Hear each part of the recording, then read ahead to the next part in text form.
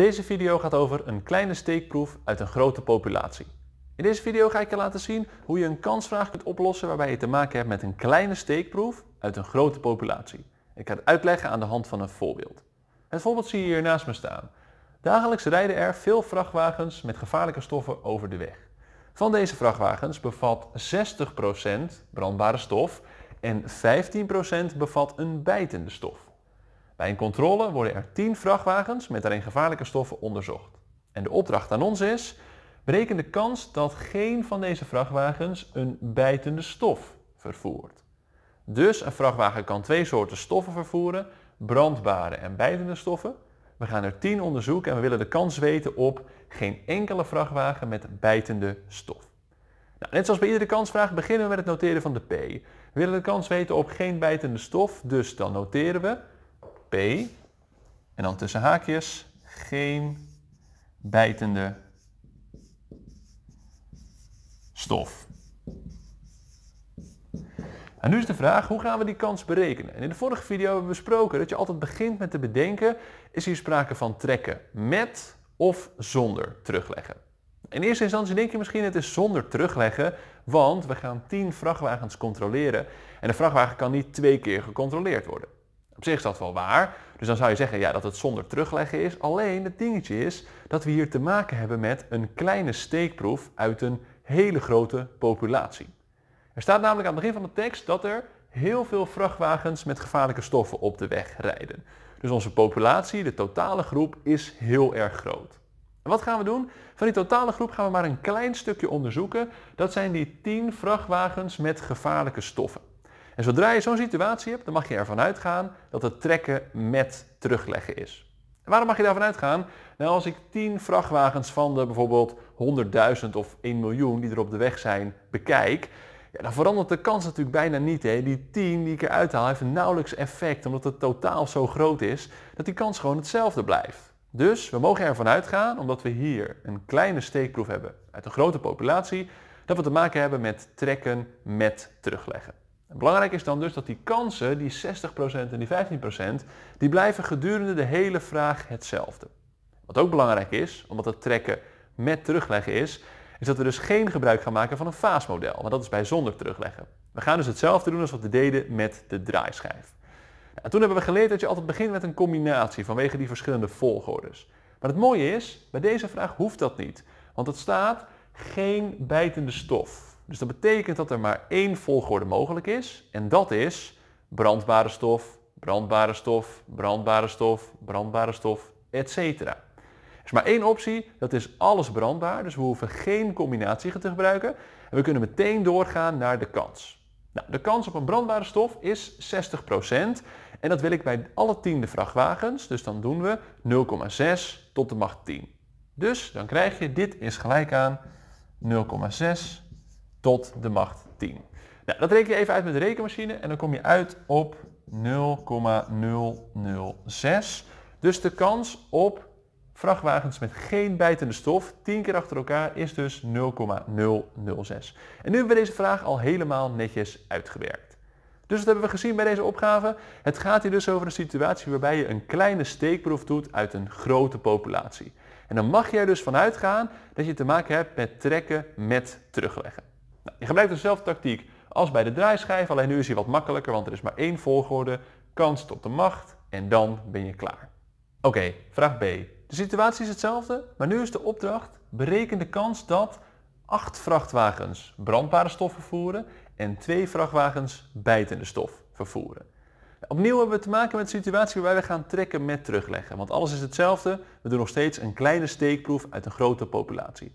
Dus we gaan gewoon meteen aan de slag. We gaan eerst weer even de P opschrijven. We willen dus 8 keer brandbaar en 2 keer bijtend. Dus we noteren P tussen haakjes 8 keer brand en twee keer bijt.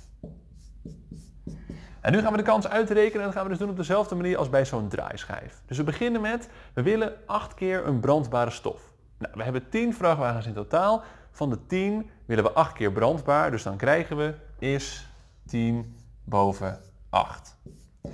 Nou, nu de kans op zo'n brandbare stof, die is nog steeds 0,6 en dat wil ik 8 keer, dus dan krijgen we 0,6 tot de macht 8. Dus dit keer 0,6 tot de macht 8. Dan gaan we verder, gaan we naar de volgende combinatie. We hebben dus van de 10 keer 8 vrachtwagens al gekozen. Heb ik er nog 2 over. En van die 2 wil ik 2 keer de bijtende stof. Dus de combinatie wordt dan 2 boven 2. Dus dit keer 2 boven 2. Nou, dan gaan we naar het laatste stukje. Dan gaat het over de kans. De kans op een bijtbare stof. Nou, dan gaan we even kijken wat er over in de tekst staat. Volgens de tekst is dat een 15% kans op een bijtende stof. Dus dan krijgen we nu dit keer 0,15. We willen dat twee keer, dus keer 0,15 tot de macht 2. Nou, deze kans vul je in je rekenmachine, je gaat het even uitrekenen, dan kom je uit op 0,017. Dus dit is 0,017. En dat is dus de kans op 8 vrachtwagens met een brandbare stof en 2 met een bijtende stof. Dus eigenlijk doen we bij deze vraag hetzelfde als bij A, maar nu is het net even wat lastiger. Hè? En nu is het echt wel dat model van die draaischijf, wat we vaker hebben gezien. Dus je begint met een combinatie, kans, macht. Combinatie, kans, macht. Netjes uitrekenen en dan ben je klaar. Oké, de laatste vraag. Vraag C. De situatie is weer hetzelfde, maar nu is de opdracht. Bereken de kans dat vijf vrachtwagens brandbare stof vervoeren en drie een bijtende stof. We beginnen weer met het opschrijven van de P. Dus je krijgt dan P tussen haakjes 5 keer brandbare stof en 3 keer een bijtende stof. Nou, nu gaan we die kans uitrekenen. Het werkt eigenlijk een beetje op dezelfde manier als bij vraag B, maar er zit nog wel een klein gemeenigheidje in, dus let goed op.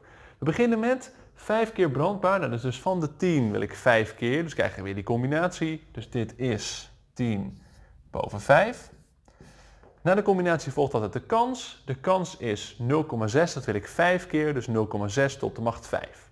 Dus dit keer 0,6 tot de macht 5. Dan gaan we naar die andere. Hebben we dus 3 keer bijtende stof. Dus van de 10 keer heb ik er al 5 gehad. Ik heb er nog 5 over. Van die 5 wil ik 3 keer een bijtende stof. Dus ook dan krijg je weer een combinatie 5 boven 3. Dus dit keer 5 boven 3. Nou, ook nu gaan we weer door naar die kans. De kans op een vrachtwagen met zo'n bijtende stof is 15%. Dus we krijgen dan 0,15. En 0,15 doen we tot de macht 3, want je wil het 3 keer. Dus dit keer 0,15 tot de macht 3. En nu denk je misschien dat je klaar bent, maar dat klopt niet helemaal. Dat is meteen het gemeenigheidje bij deze vraag. Want kijk, we hebben nu 5 vrachtwagens met een brandbare stof, 3 met een bijtende, dat is samen 8. Dat betekent dat wij nog twee over hebben die dat allebei niet hebben. Dus we moeten nu nog verder. We hebben nog niet alle vrachtwagens gehad. We hebben nog twee vrachtwagens over. En die twee vrachtwagens moeten het allebei niet hebben. Dus we gaan weer een combinatie neerzetten, namelijk 2 boven 2. Want van de twee overige wil ik twee keer niet. Dus dit doen we keer 2 boven 2. En dan is de vraag, wat is de kans dat ze niet een brandbare of een bijtende stof hebben? Nou, dit is 60%, dit is 15, dat is samen 75.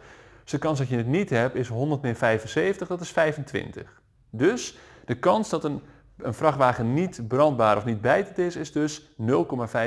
Dus we doen keer 0,25. Maar die kans wil je twee keer, hè? want je hebt twee vrachtwagens nodig vanwege die twee die hier staat. Dus we doen 0,25 tot de macht 2. Dus dit doen we tot de macht 2. Nou, dit hele verhaal die staat ga je helemaal intoetsen in je rekenmachine. Dan kom je uit op 0,041. Dus dit is 0,041. En dan zijn we klaar. En nu hebben we deze vraag helemaal netjes uitgewerkt. Dus wat je ziet is eigenlijk een beetje hetzelfde als voorbeeld B. Alleen dat einde, dat is dus wel gemeen. je moet eens even goed opletten aan het einde. Je hebt nog niet alles gehad hier. Want twee vrachtwagens over. Nou, de kans dat ze iets anders hebben is dit. Tot de macht 2. Netjes uitrekenen en dan ben je klaar. Wat leuk dat je naar deze video hebt gekeken. Ben je nou blij met Matt Menno? Doe dan een blauw duimpje omhoog en abonneer op mijn kanaal. Je kunt me ook volgen op Instagram en als je wil zien welke video precies waarover gaat, kijk dan eens op de overzichten op mijn website www.maltedmenno.nl